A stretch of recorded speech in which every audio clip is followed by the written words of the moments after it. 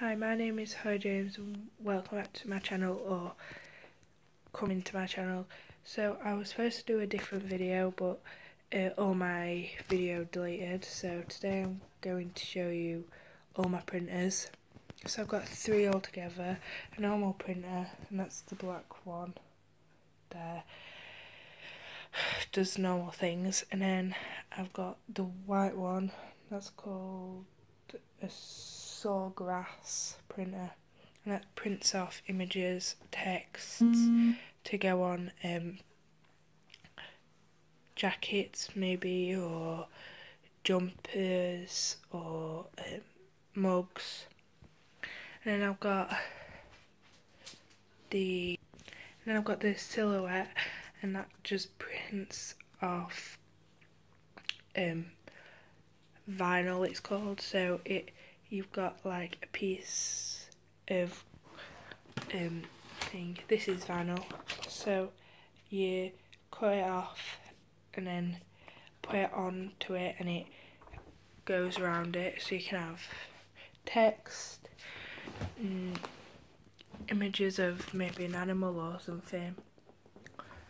And then to go on to put them on the computer like onto things I use a heat press. I've got two different heat presses.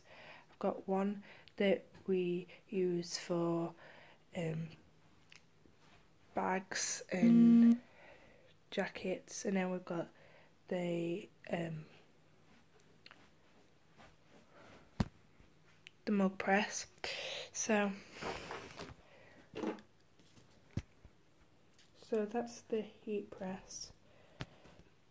It gets to 370 temperature um, and then the heat press gets up to 190 I think and that's the heat press there so that's it for this video. Uh, I'm going to do another video mm. for Monday I think. It might not go up because I'm going on holiday so it might be harder to do it but hopefully I will and I'll do videos of going up to the thingy and what I'm doing and some clothes I think so stay tuned to that um if you're new subscribe, um, like the video, comment down below what you want next and I'll try to do it.